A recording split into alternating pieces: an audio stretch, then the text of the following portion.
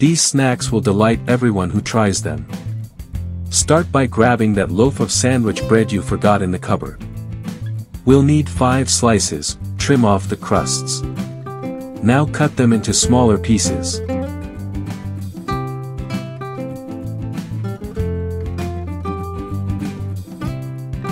Next, take 500 grams of chicken breast, and cut it into cubes like this.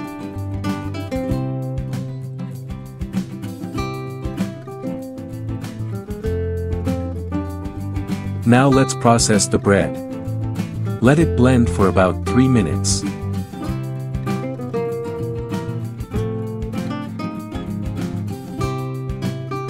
Now, add the chicken, and season to taste with salt, black pepper, and paprika. Add 1 onion, and 3 cloves of chopped garlic. Process for another 3 minutes.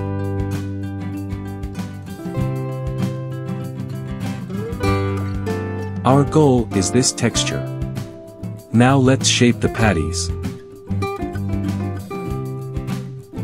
Prepare these patties wrapped around popsicle sticks.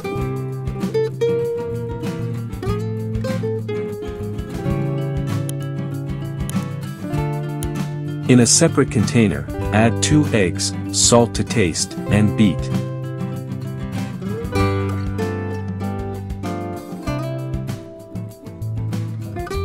Get some breadcrumbs ready and let's start breading. Dip the patties in the breadcrumbs, then into the eggs.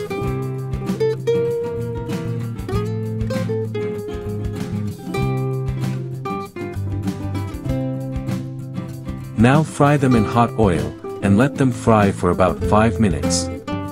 And just like that, it's ready. Fried chicken patties, making the most of what you likely already have at home. Yet, they are still a tasty and versatile snack.